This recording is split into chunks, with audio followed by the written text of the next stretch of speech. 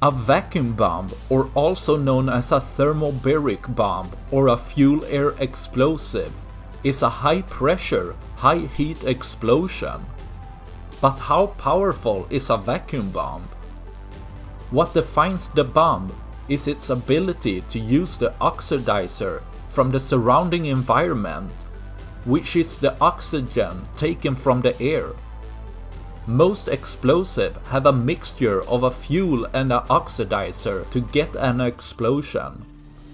A vacuum bomb has a small charge that disperses the explosive material, which can either be designed to self-ignite, or a secondary charge is detonated, which ignite the fuel.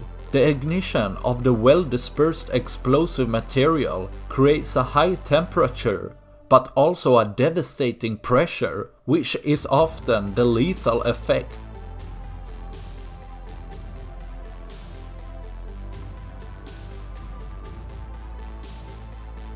The bomb can come in many sizes, from hand grenades up to the biggest non-nuclear bomb, which has an explosive equivalence of 44 tons of TNT, known as the father of all bombs.